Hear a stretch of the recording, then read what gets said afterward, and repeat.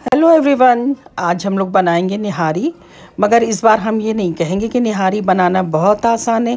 चले देखते हैं उसके लिए हमें क्या इंग्रेडिएंट्स की ज़रूरत है। यहाँ करीब हमने छः प्याज लिए, आप देख रहे हैं।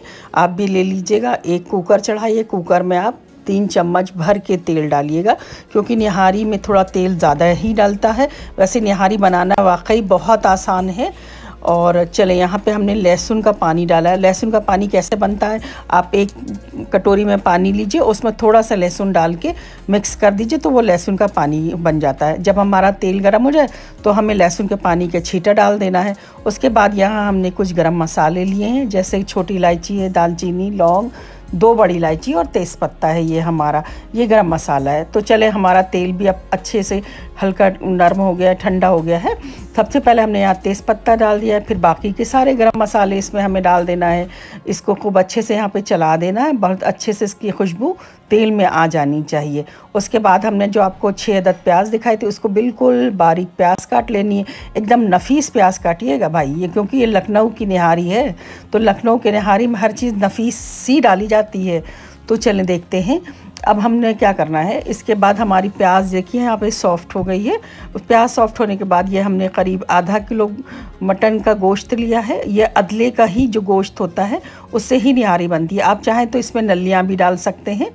और निहारी बहुत ही आसान है बनाना और खाने में तो बहुत ही टेस्टी लगती है। जब आप बनाएँगे तो आपको पता चलेगा। चले इस बीच हमने गोश्त को बहुत देर तला। उसके बाद हम यहाँ पे करीब एक चम्मच मैंने लहसुन भर के अदरक डाली है। उसके बाद ये एक चम्मच हम लहसुन भर के डाल रहे हैं। लहसुन अदरक डालने के बाद यहाँ पे हम इसे खूब अच्छी देर मिक्स करेंगे ताकि लहसुन अदरक का जो पानी है वो सूख जाए। इतनी बुराई की जाए कि इसका पानी बहुत सॉफ्ट हो। इधर हम एक कटोरा दही ले लेंगे। दही में पानी कोशिश कीजिएगा कि ना रहे तो उसके बाद हमें क्या करना है कि हाँ हमें एक चम्मच हल्दी लेना है और करीब हम यहाँ पे दो चम्मच हो गई है हमारी हल्दी हल्दी। धनिया तीन चम्मच हमें यहाँ धनिया लेनी है, एक चम्मच मिर्च लेनी है। मिर्च आप अपने टेस्ट के हिसाब से ले लीजिएगा। यहाँ मैंने अपने टेस्ट के हिसाब से लिया।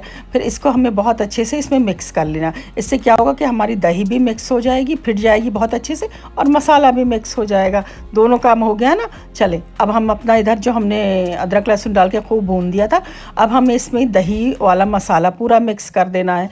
अब इसको भी हमें तब तक भूनना है जब तक कि दही अपना पानी बिल्कुल सुखा ना दे।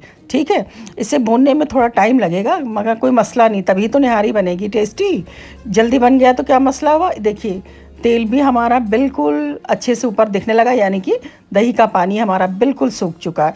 बस इसी स्टेज पे आप चाहें तो कुकर में पानी डाल के ढक्कन लगा लिए, गोश्त बंद करके नहीं नहीं तो आप इसे खुला भी पकाइए। अगर आपके पास वक्त हो तो। मेरे पास वक्त नहीं है तो मैं सीटी ले लूँगी। करीब इसमें यहाँ चार पाँच सीटी हम लेंगे ये तो गोश्त के ऊपर डिपेंड होता है कि कहाँ का कितना टाइम लेता है।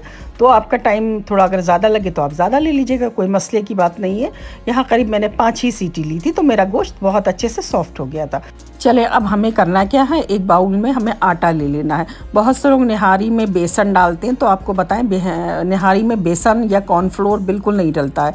इधर हमने जो निहारी मसाला लिया है, निहारी मसाला एक करीब डेढ़ चम्मच हमने डाल दिया ये बाज़ार में बहुत आसानी से मिल जाता है। और बहुत ही सस्ते दामों में भी मिलता है। चले इधर निहारी और आटे में हमने पानी मिला देना है और पानी को हमें तब तक यहाँ पे चलाते रहना कि उसमें एक भी लम्स नहीं बचना चाहिए। आटे का या मसाले का इस तरह से। उसके बाद जब बहुत अच्छे से ये घुल जाए तो करीब आधा चम्मच हमें इसमें पिसी हुई काली मिर्च डालना चाहिए। काली मिर्च का टेस्ट तो भाई क्या बताएँ, मुझे तो बहुत ही पसंद है काली मिर्च। चले इसी बीच हम यहाँ पे एक चम्मच क्योड़ा जल, इसी में हम मिला देंगे। बस ये मसाला भी हमारा बिल्कुल रेडी हो गया है। निहारी मसाला आप मार्केट से आराम से ले सकते हैं। चलिए, हमारी सीटी आ गई थी। हमने कुकर का ढक्कन खोल लिया है। अब देखते हैं कि यहाँ क्या है। अब कुकर को आप थोड़ा तिरछा करके इसको, इस तरह से आपको ये तेल निकाल लेना है थोड़ा थोड़ा ये तेल को रोगन कहा जाता है। तो इस रोगन को हमें अलग कर देना है इस गोश्त से। तो रोगन हमारा बाद में इस्तेमाल में आएगा। और ये देखिए, हमने करीब एक कटोरे में रोगन पूरा निकाल लिया है। रोगन हमने क्यों निकाला, ये भी हम अभी आपको बताएँगे।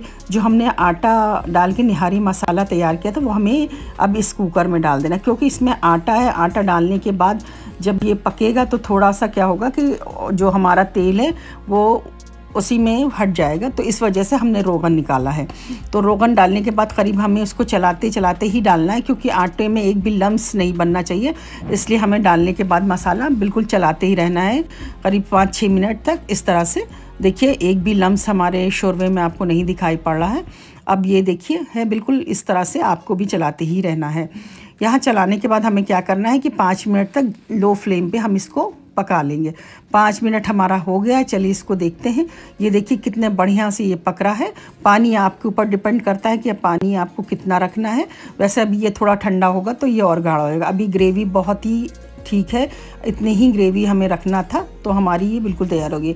और इसको सर्व करने के लिए हमने यहाँ हरी मिर्च, धनिया और अदरक के जूलियन कट्स में कुछ पीसेस काट लिए हैं, वो डाल लेगी उससे बहुत ही अच्छा फ्लेवर आता है। अब चलें फाइनल हमें यहाँ क्या करना है? एक हमने यहाँ पे देसी घी, एक चम्मच ले लिया है। देसी घी को जब थोड़ा वो मेल्ट हो जाएगा, हम इसमें डालेंगे थोड़ा सा निहारी मसाला और थोड़ी सी कश्मीरी लाल मिर्च। इसको बोलते हैं तीरा। अब ये तीरा जो है, हम अपनी निहारी में डाल देंगे। बस इसका बहुत ही शानदार टेस्ट आएगा इसमें, क्योंकि देसी घी डल गया इसकी वजह से इसमें बहुत ही खूबसूरत सा टेस्ट आएगा। ये देखिए, हमारी निहारी बिल, बन के बिल्कुल रेडी हो चुकी है। आप जब बनाएँगे ना, तब आपको इसका टेस्ट पता चलेगा। फिर आप कहेंगे, वाह, शानदार किचन ने कितना टेस्टी निहारी सिखाई है। चले, अब देखते हैं कि हम इसे सर्व कैसे करते निहारी हमने अपनी बिल्कुल डिश आउट कर लिया है और जो हमने ये तीरा निकाला था ना, अब उस तीरे को हमें ऊपर से ही डालना है इसके ऊपर। इस तरह से आप ऊपर से डालते रहिए तीरे को और जितनी बार भी आपको निकाल के देना, उतनी बार इस तरह से आप इस तीरे को डाल के दीजिए। थोड़ी सी अदरक डाल दीजिए आप ऊपर से। इस तरह से और हरी मिर्च जो बीच में से आपने स्लाइड करके रखी थी, वो डाल दीजिए और इसमें धनिया की पत्ती ज़रूर डालिएगा, इसका टेस्ट बहुत अच्छा आता है और नींबू के साथ जब आप खाएँगे तो फिर बहुत ही मज़ा आएगा। वैसे निहारी जो है, मेन कोलचे के साथ खाई जाती है। अगर आपको कोलचे की रेसिपी चाहिए हो तो आप मुझे कमेंट कीजिएगा तो मैं आपको उस रेसिपी को भी दे दूँगी। और अगर आपको मेरा वीडियो पसंद आया हो तो प्लीज़ लाइक, शेयर, कमेंट और सब्सक्राइब कीजिए। Thank you.